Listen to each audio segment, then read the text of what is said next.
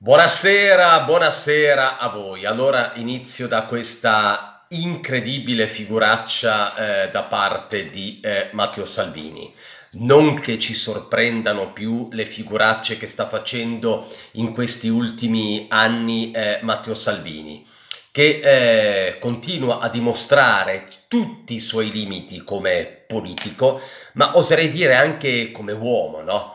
L'abbiamo sempre detto, è stato bravo, eh, nel ottenere il consenso, nel far sì che la Lega eh, riuscisse eh, sempre più eh, a conquistare eh, posizioni eh, per quanto riguarda i partiti politici nel nostro paese, tanto di essere il primo partito in Italia quando ha raggiunto il 34% alle elezioni europee. E ora sappiamo, insomma, è di fronte a un crollo proprio per quello che si è dimostrato e si sta dimostrando come politico, ma io oserei dire anche come uomo a questo punto. È la cosa che veramente mi lascia stupefatto che la Lega non abbia ancora posto un freno a quest'uomo e di conseguenza alla discesa della Lega stessa.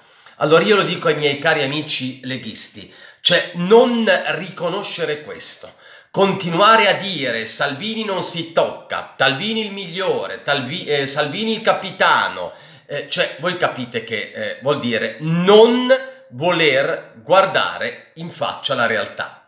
Oggi cosa è successo in pratica? È andato eh, in Polonia e precisamente alla frontiera tra Polonia e Ucraina, dove è stato accolto, si fa per dire, dal eh, sindaco di questo paese dove lui si è fermato, eh, che praticamente ha organizzato una specie di, di conferenza stampa, non lo so, all'aperto, con questo microfono e a un certo punto ha tirato fuori una maglietta, maglietta che usava, se vi ricordate, qualche anno fa eh, Matteo Salvini quando eh, diceva eh, meglio eh, un Putin che eh, due Mattarella, no? E eh, gliel'ha fatto chiaramente notare il sindaco di eh, questo paese dicendo che lui non aveva il piacere di accoglierlo e non, ave- non voleva avere nulla a che fare con lui. Ecco, non so quanti sono riusciti a vedere questa scena. Eh, ecco, guardate, se vi ricordate la scena di Salvini quando l'aveva preso a schiaffoni Conte, ecco, è identica, la faccia è uguale come il, il bambino che è stato preso con le mani nella marmellata, che è assolutamente sorpreso perché non si aspettava tutto questo perché vuol dire che non si prepara neppure, non si pone neppure il, proble- il, il, problema di quello che potrebbe succedere. Ecco, la faccia era quella. Quindi ancora una volta una figura di M che tra l'altro farà il giro di tutta Europa, io devo davvero dire con questa ultima figuraccia come politico Salvini è totalmente out e, io mi auguro per, per la Lega, per il centrodestra tutto, che la Lega a questo punto prenda dei provvedimenti perché veramente è incredibile. Non è che me ne importi molto perché voglio dire, ormai lo sapete, mi sto sempre più allontanando da quel mondo e sempre più convincendo che l'unica speranza è un movimento di azione popolare, fatto unicamente da patrioti italiani. E veniamo alla seconda notizia. Ora guardate, questa è una notizia che non posso dire che per carità è passata sotto silenzio, ma pochi si stanno soffermando su una notizia molto importante.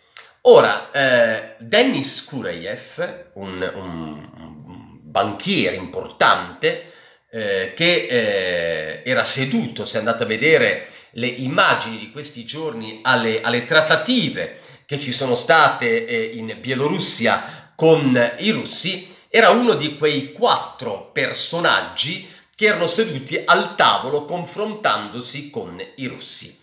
Ebbene, sembra ormai eh, ufficiale, sembra una notizia sicuramente eh, non eh, da verificare o addirittura ancora peggio una fake. È stato ucciso dai servizi segreti dell'Ucraina per alto tradimento.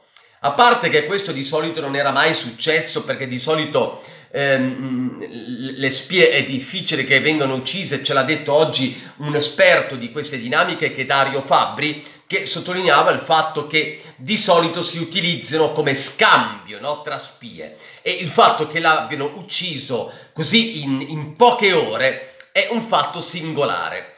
Ma c'è poi un altro aspetto da eh, sottolineare, una domanda ma che poi questo apparato che sembra così unito, così perfetto eh, del governo ucraino, in fondo non sia così, perché voi capite che è clamoroso, è incredibile che un uomo che è una spia possa essere arrivato a sedersi al tavolo delle trattative insieme ad altri tre compagni e a fare questa trattativa eh, con... Eh, con i russi. Sembra veramente inverosimile, c'è qualcosa che francamente eh, non quadra.